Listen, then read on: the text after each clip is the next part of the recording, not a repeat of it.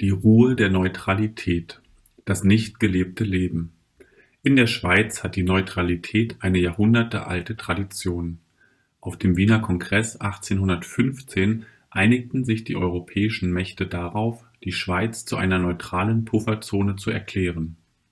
Inzwischen ist daraus ein humanitäres Weltbild geworden, welches sich in den Dienst des Friedens und des Wohlstandes stellt.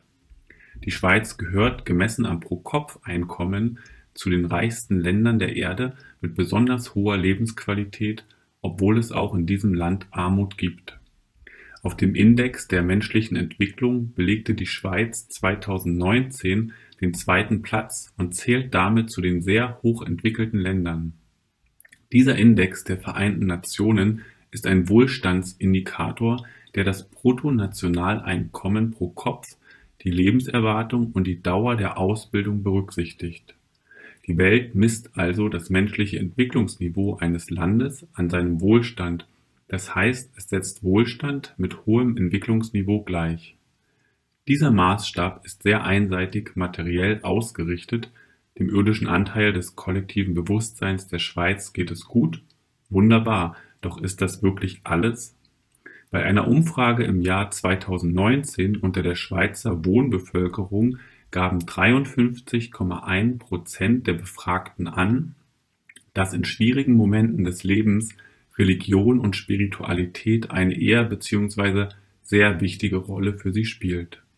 Das heißt, gerade einmal etwas mehr als die Hälfte der Schweizerinnen und Schweizer interessiert sich lediglich in schwierigen Situationen für Spiritualität. Diese Umfrage zeigt, dass Neutralität und Wohlstand zu einer Trägheit im Bewusstsein führen können, die vom Wesentlichen des Lebens abhält.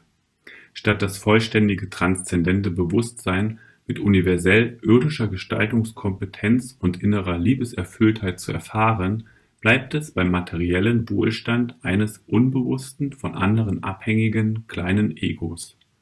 Zugleich hat die Schweiz ebenso wie Deutschland jedoch speziell durch seine gute irdische Situation die besten Voraussetzungen dafür, sich mit dem höheren Bewusstseinsniveau des neuen Zeitalters zu befassen. Die Schweiz und Deutschland verbindet ein vielfältiges, enges, gut nachbarschaftliches Verhältnis, nicht zuletzt aufgrund der im größten Teil der Schweiz gemeinsamen Sprache. Insofern hat die Schweiz beste Chancen, von dem sich von Berlin aus verbreitenden höheren Bewusstseinsniveau des neuen Zeitalters zu profitieren. Worum es dabei geht, können die Schweizerinnen und Schweizer in Musubi Weltheilung, die Bibel, Heilige Schrift des neuen Zeitalters nachlesen